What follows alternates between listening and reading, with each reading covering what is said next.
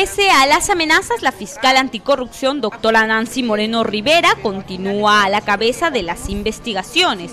Próximos a finalizar el 2013, se han recepcionado un total de 635 denuncias, de las cuales 288 se encuentran aún en etapa intermedia y solo tres han obtenido sentencia. Se trata de la investigación al alcalde de Pampas, un juez de Nepeña y un funcionario de la Dirección Regional de Salud, mientras que casos como el de la Centralita aún están en segunda instancia. La fiscal superior anticorrupción también manifestó que ha solicitado la creación de dos nuevos despachos y la contratación de 10 fiscales más, debido a que el próximo año, por ser electoral, eleva el número de denuncias presentadas. Yo siempre he dicho, el tema, los temas de corrupción no es fácil de investigar, son complejos todos los casos, pero eh, estamos comprometidos en que nuestro, trabajo el próximo año mejore. ¿Cuántos, ¿Cuántos casos han recepcionado 2013? Bueno, tenemos 635 casos ingresados, ¿no? de los cuales 288 están en trámite, parte de los cuales están ya en etapa intermedia, están eh, en etapa de juzgamiento también algunos y algunas condenas que se han logrado. ¿Cuántos han dado resultados? Bueno, con condena eh, tenemos tres casos con condena. ¿no?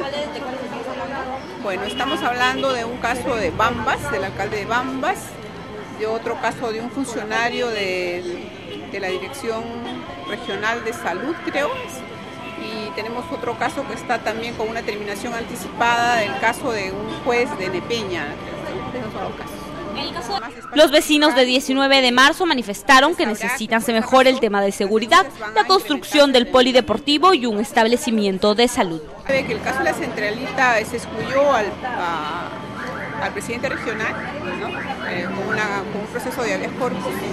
Esa decisión ha sido impugnada por el procurador del Ministerio Público en Lima está en trámite todavía esa, esa, impugnación y bueno, el resto de los imputados ha presentado una excepción de improcedencia de acción y, este, eh, el juez ha declarado fundada en primera instancia y está en segunda instancia, estamos esperando el resultado. ¿no? Ese es el estado de ese caso la Central. el próximo año, ¿cuál es el trabajo también en el cargo? Bueno, seguimos trabajando nosotros, nosotros probablemente el próximo año, que es un año electoral, las denuncias se incrementen. ¿no? Precisamente por eso estamos pidiendo la creación de más despachos fiscales, porque usted sabrá que por esa razón las denuncias van a incrementarse tremendamente. ¿no? Y vamos Así es, estamos pidiendo la creación de dos despachos más. Creo que necesitamos por lo menos 10 fiscales más para poder trabajar.